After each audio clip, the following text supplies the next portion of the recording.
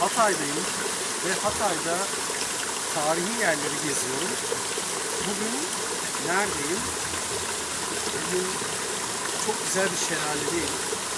Harbiye Şelalesi'nde ve çevredeki esnaflara, kafelere bir göz atayım dedim ve burada çok ilgimi çekti. Bakın bu tandır yapılıyor bunun içerisinde. Ee, ekmek yapılacak. Burada gerçekten doğa var. Doğanın göbeğindeyim ve tarihin merkezindeyim. Ve isterseniz şöyle bir gezdireyim sizi bakın.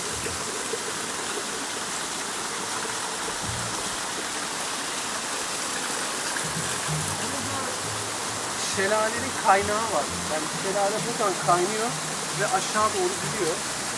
Burada görmüş olduğunuz ya, su çok bol. Her taraf suyla dolu. Ben her zaman diyorum ya önümde mucizeler, arkamda mucizeler. Ben mucizelere sarılıyım.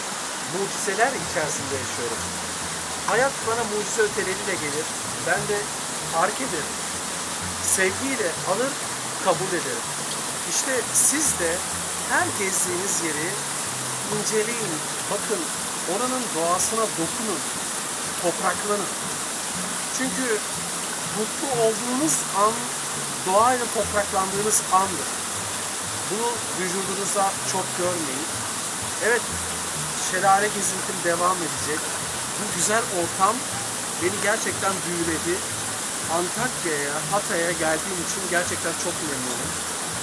Evet, mucizemiz daim olsun diyorum. Herkese tekrar merhabalar.